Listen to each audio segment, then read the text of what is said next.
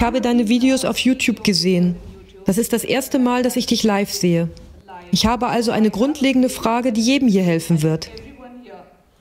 Jeder spricht darüber, du weißt schon, uns selbst zu kennen. Und der erste Schritt ist, nach innen zu gehen. Und der Weg, um nach innen zu gehen, ist Meditation.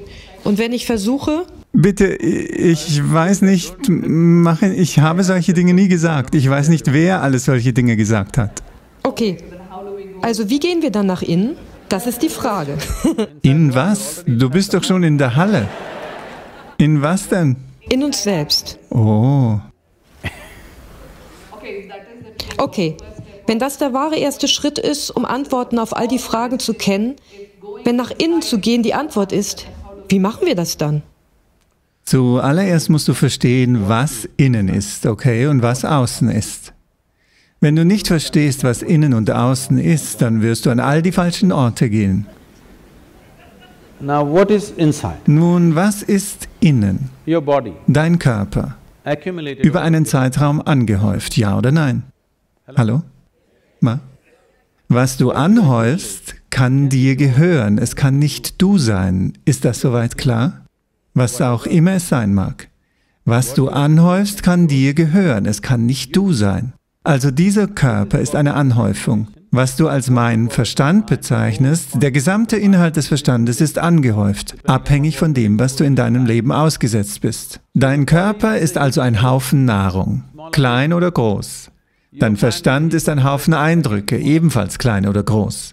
Zwischen diesen beiden Haufen, wo zur Hölle bist du? Also innen, außen, lass diese Worte weg. Was Sprache angeht, gibt es nur so viel Spielraum. Also innerhalb dessen versuchen vielleicht verschiedene Menschen, sie in unterschiedliche Weise zu benutzen. Wir wissen nicht, in welchem Kontext sie es verwendet haben. Du hast alle in einen Topf geworfen und gesagt, das habt ihr alle gesagt. Ich weiß nicht, wer all diese Menschen sind. Verschiedene Menschen verwendeten verschiedene Methoden in ihrem Umfeld. Unter Berücksichtigung der Menschen um sie herum und was am besten für die Menschen um sie herum geeignet war, dementsprechend haben sie höchstwahrscheinlich gearbeitet. Wenn Sie aufrichtig sind, hätten Sie mit den Menschen um Sie herum gearbeitet, nicht mit Konzepten von irgendwoher. Was, wenn man sich eine individuelle Person anschaut, wird man etwas tun, was für diese Person funktioniert. Was man mit dieser Person macht, funktioniert vielleicht bei einer anderen Person nicht. Man wird mit dieser Person etwas anderes machen müssen. Aber du sprichst von einem allgemeinen innerlich-äußerlich. Bestimme also zuerst, was innerlich und äußerlich ist. Im Moment ist alles nach außen gerichtet. Die Welt ist außen, der Körper ist auch äußerlich äußerliches Material. All das Material im Verstand ist auch äußerlich. Was ist also dieses innerlich, von dem du sprichst? Dann wirst du sofort sagen, Atma, Paramatma, Seele, das hier. Jetzt begibst du dich in ein Glaubenssystem. Du weißt es nicht. Du weißt, dass du einen Körper hast, ja? Hallo? Bitte überprüft eure Nachbarn. Du weißt, du hast einen Körper. Du glaubst, du hast einen Verstand. Aber bis zu einem gewissen Grad weißt du es. Aber der Rest ist Glaube. Ja oder nein? Ich stelle nicht in Frage, ob es wahr oder falsch ist, darauf wollen wir gar nicht eingehen, aber es ist Glaube, es liegt noch nicht in deiner Erfahrung. Wenn du über etwas sprichst, das noch nicht in deiner Erfahrung ist, bist du, um es ganz offen zu sagen, einfach ein verdammter Lügner. Das bedeutet es. Aber weil Lügen heilig sind, Lügen in den heiligen Schriften geschrieben stehen, Lügen von allen möglichen Menschen wiederholt werden, die unterschiedlich gekleidet sind, was heilig sein soll, jedoch lächerlich ist. Aus diesem Grund sollst du diese Worte nicht in Frage stellen. Überall, wo man hingeht, sagen die Leute als erstes, Sadhguru, was ist mit der Seele? Ich frage sie, welche Sohle, rechte oder linke?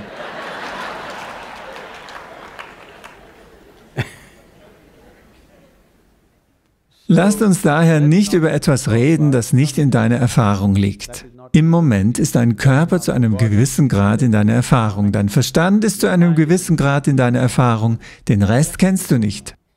Aber wir können Schlussfolgern.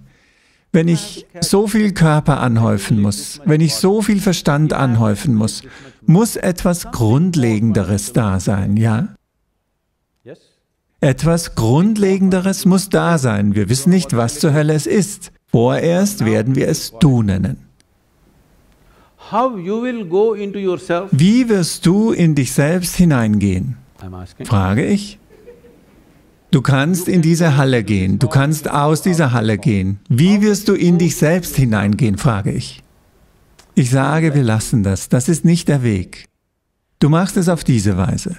Was nicht du bist, all diese Dinge, die hältst du beiseite. Heute, bevor du, bevor du ins Bett gehst, alles, was nicht du bist, halte es beiseite. Sie mögen wertvoll für dich sein. Du denkst darüber nach, dein Haus, bist das du? Oh, mein Haus. In Ordnung, du hast viel Leidenschaft dafür, aber in Ordnung, halte es beiseite. Dein Ehemann, bist das du? Nein, das ist einfach. Er ist nicht ich.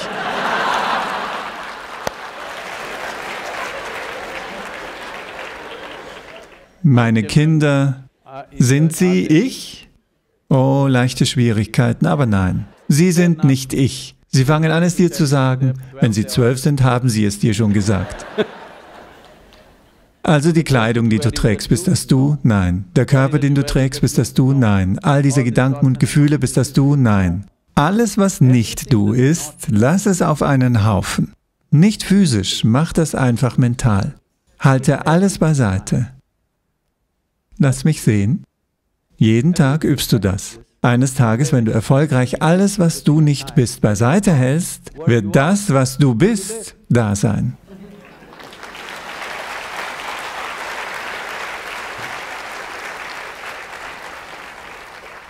Wir haben zu viele Vorstellungen von Dingen, die wir nicht gesehen haben. Das ist ein großes Problem. Shankaran Pillai ging zu Britannia. Darf ich? Du liebst Geschichten hier. Shankaran Pillai ging zu Britannia Industries, um einen Job zu finden. Um einen Job zu finden. Sie suchten also nach einem wirklich cleveren, weitsichtigen Vertriebsleiter. Also stellten sie ihm eine Frage. Was ist weiter entfernt? Mumbai oder der Mond? Shankaram Pillai dachte nach. Er sagte Mumbai. Sie sagten, was? Mumbai ist weiter entfernt als der Mond? Er sagte ja. Wie das? Nun, ich kann den Mond sehen, Mumbai kann ich nicht sehen. Was ich also damit sage ist, wenn du dich nach deiner gegenwärtigen Wahrnehmung richtest, wirst du zu den völlig falschen Schlussfolgerungen kommen. Habe es daher nicht eilig, Schlussfolgerungen zu ziehen. Lasst uns ein wenig mehr Aufmerksamkeit schenken. Du bist ein wertvolles Leben, das etwas Aufmerksamkeit verdient, nicht wahr? Suche nicht die Aufmerksamkeit anderer Leute. Deine eigene Aufmerksamkeit hat dieses Leben nicht Aufmerksamkeit verdient? Schenke dem Aufmerksamkeit. Mit genug Aufmerksamkeit wird alles klar sein. Alles Mögliche über dich fragst du mich. Wenn ich es dir sage, was hast du dann? Du hast ein paar Wörter mehr. Du hast ein paar Wörter mehr. Das wird dich nicht im geringsten der Wahrheit näher bringen. Ein Wort mehr oder zehn Wörter mehr bringen dich der Realität überhaupt nicht näher. Du wirst nur mehr Dinge haben, die du jemand anderen sagen kannst. Diese Art von Hörensagen verbreitet sich in der Welt. Jeder weiß, wo Gott ist, wer seine Frau ist, wie viele Kinder er hat, wann sein Geburtstag ist, seine Adresse. In jedem Bhajan singen die Leute seine Adresse, wo er ist und wie man ihn erreichen kann. Aber sie wissen rein gar nichts über sich selbst. Diese Art von wie soll ich sagen, sehr sachkundiger Unwissenheit ist gefährlich, verstehst du? Wenn du es nicht weißt, ist es kein Problem. Wenn ich erkenne, ich weiß es nicht, ist die Möglichkeit zu wissen immer da, nicht wahr? Wenn ich es nicht weiß und ich denke, ich weiß es, dann habe ich alle Möglichkeiten zerstört. Wir sind also bei vielen Dingen angelangt. Wir wissen in jeder Kultur, wissen Sie, was die Natur Gottes ist, wo er wohnt, wie das Ambiente dort ist und alles Mögliche, weißt du? Jeder kennt die Geografie des Himmels, stimmt's? Oder nicht? Aber du weißt rein gar nichts über dich selbst. Es ist an der Zeit. Es ist an der Zeit, dass wir dem Aufmerksamkeit schenken, denn alles, was du weißt, kennst du nur so, wie es an das Firmament deines Verstandes projiziert wird. Du kennst nichts auf irgendeine andere Weise, ja oder nein. Was du also in Ordnung bringen musst, ist, du siehst alles in einem Spiegel deines Verstandes und der Spiegel ist schief. Bring ihn zuerst in Ordnung.